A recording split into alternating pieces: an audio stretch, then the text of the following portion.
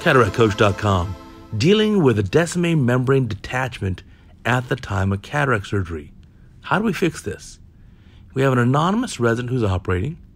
To start the incision right at the limbal vessels, doing a triplanar technique, good tunnel length, that looks great. And in the anterior chamber, beautiful incision, no issues there at all. At the end of the surgery here, IOL's in the capsular bag, good overlap by that capsular rhexis, optic is held securely. Now watch the main incision. As we hydrate it here, there's that big flap. You see that? Right there at the incision. There's a big Descemet detachment right at the incision. So what should we do here? Well, let's do a little bit of hydration of the incision, but we've lost the endothelial pump function. And at the incision site, we don't have that to keep it closed anymore. And so we're going to have to put a suture in and maybe even an air bubble. Let's look under the OCT analysis. There's the incision, and there you can clearly see that's the Descemet detachment.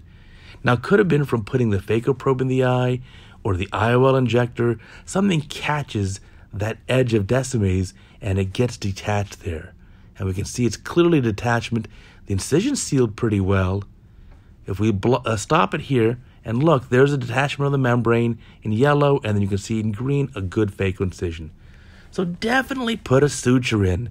You don't have that endothelial cell pump function, it's not going to seal the incision very well, even though the incision architecture is good.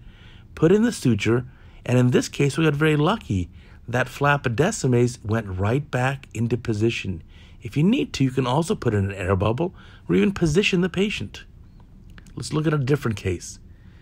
Here's another anonymous resident operating, making the incision. There we go. It's a little on the short side for the tunnel length, but I'll take it. Not bad. And then you can see it's quite a cortical cataract. Finishing up the capsular rhexis here. It's not going to be a very difficult case. At the end of the case, removing the cortex from the eye, look at the incision. What is that that you see just inside the incision? Hmm, look carefully. Is that a big Descemet detachment? Gosh, it's getting awfully close to the central visual axis.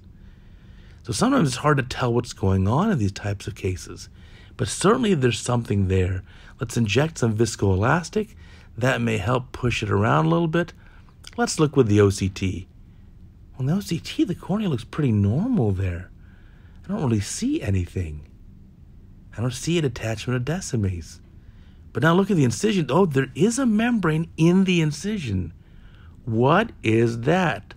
There's a membrane that's stuck in the phaco incision. Certainly there's something there. You see it on the OCT. Well, interestingly enough, it turns out we're going to get this membrane outside the eye. Watch carefully. I'll show you the live OCT. We're going to have the resident depress the posterior lip of the incision. And look what happens. Depressing the posterior lip of the incision, that membrane just comes all the way out. That was a remnant of the capsular rhexis. And it's out of the eye completely. Not sure how it presented that way, but that was not a Descemet's detachment. So the end of the case here, now looking, it looks perfectly normal. There is no Descemet detachment.